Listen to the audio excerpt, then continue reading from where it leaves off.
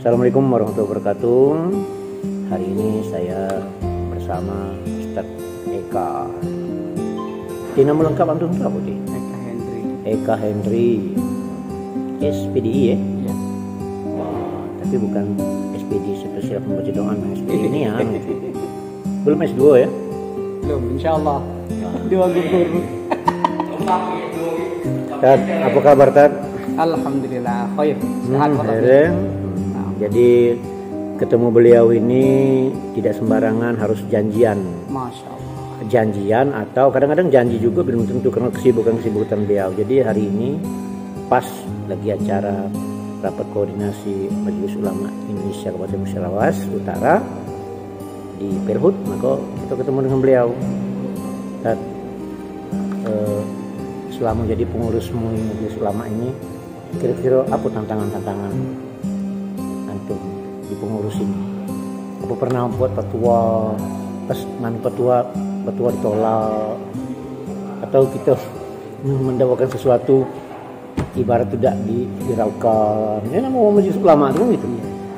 Kira-kira Tapi Alhamdulillah, semenjak diamanahkan perintah Kabupaten Sulawesi Utara untuk ikut serta di organisasi Majelis Ulama Indonesia Kabupaten Utara, ya Alhamdulillah ketika kita terjun di masyarakat fatwa-fatwa kita kebetulan saya di bidang dakwah. Nah itu maksudnya itu. Alhamdulillah diterima masyarakat dengan baik dan supportnya sangat luar biasa. Bahkan banyak masyarakat itu mengadu perihal-perihal tentang agama kepada MUI khususnya. Dan itu masyarakat kita Alhamdulillah merasa terjawab apa yang dia tanya kepada kita. Dan itu semua pertanyaan ditumpukan kepada para cak kayak ini atau me tidak kiai. Ya juga ya. Ya, semua majelis ulama yang ada di Kabupaten Utara kebetulan kadang-kadang masyarakat pas kebetulan dengan kita ada acara mungkin pas dakwah-dakwah kegiatan hari-hari besar Islam di sana sebagian masyarakat menyempatkan menempatkan diri ah, dengan bertanya bertanya kita, seputar tukar ya pengalaman, tukar pendapat, bahkan sedikit minta arahan. Alhamdulillah yang bisa kita sampaikan kepada beliau, masyarakat, alhamdulillah rasanya merasa eh, gembira dan senang hati dengan jawaban itu. Wah, mantap. Terus kan pesta malam Iya, sudah hampir hampir dua tahun ya iya, ya alhamdulillah. hampir dua tahun pesta malam ini berhasil ditutup ada kendala-kendala tak kira-kira di majelis ulama atau ustaz-ustaz ini tertantang ini gara-gara ustaz juga nukung. Nah, itu kalau tidak juga ya. Tidak tidak tidak seperti itu tidak Tidak, tidak. masyarakat. Malah senang ya. Ada yang senang, tapi pro kontra itu hal wajar. Yang pertama ibu-ibu senang ya. Karena suaminya tidak keluar malam ya. Masya Allah. Tapi kadang bapak juga setuju juga. Maksudnya malah tidak ada tujuannya, dem tidak terpanggil maksudnya. Kita ini kan kadang-kadang karena terpanggil itu nah. Tidak ikut mamano, Iya, iya. ikut mamano. Jadi malah tidak ada nian sudah. Seperti dulu ya di tahun 90-an, 97 kalau salah. Iya, iya. Ketika ada SDSB dan mahasiswa ini demo demo eh, hapuskan SDSB Iya, iya. dan saya ikut waktu itu ingat saya yang lebih asik lebih menjadi kenangan sampai sekarang ada seorang polisi dekati saya Iya, alhamdulillah. pikir kita nangkap kan karena kita lagi ikut ini kan memperjuangkan ini SDSB tadi maksud memperjuangkan hapuskan SDSB tadi kan ternyata dia bilang aku dek setujunya aku itu mau SDSB ini tidak ada lagi aku senangnya oh senang bapak aku tidak pernah kenal ya. Allah. Luar biasa. ya. artinya itu kan selagi barang itu ada berarti orang menikmatinya kan?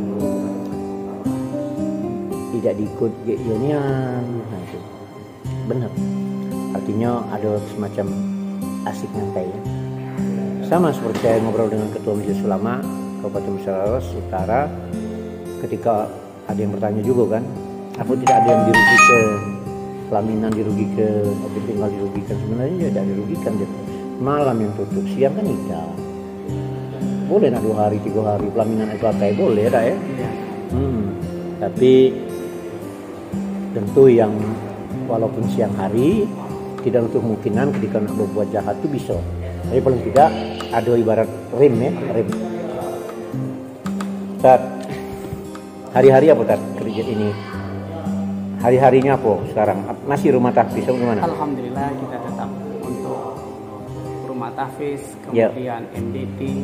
Oh itu ya. Sekarang kita baru buka RA Raudatul Atfal. Oh, Alhamdulillah. di Desa Reman ya? Desa Ruban. Hmm. Kegiatan itu sangat luar biasa. Artinya sangat didukung oleh wali-wali santri Ya, ya, ya, ya. di RA kita, kemudian di MDT kita, di TPA kita. Alhamdulillah. Insya Allah ke depan Muratara akan MDT itu apa tuh? madrasah diniyah takmir. Oh, mad- madrasah dinia Amelia. Ya biar para pemirsa tahu di mana saya ada berada. Artinya memang Murau Utara ini lengkap lah ya. Alhamdulillah. Lengkap lah pesantren ada, madrasah ada, eh, tempat anak mengaji ada. Berarti menggalakkan ketika malam mengaji ya? Iya, alhamdulillah. Hmm, iya. Bahkan di tempat kita itu alhamdulillah full mulai dari pagi, kemudian setelah subuh, Hmm. kemudian habis maghrib. Allah. Benar saya bilang dengan kesibukan-kesibukan beliau inilah yang membuat susah untuk ketemu. Saya tinggal di sini, dia bolak-balik, mungkin tidak sempat mampir ke sini karena kesibukan-kesibukan. Tapi saya hari ini permi- Hmm, pemirsa permiksa Pak. Hmm.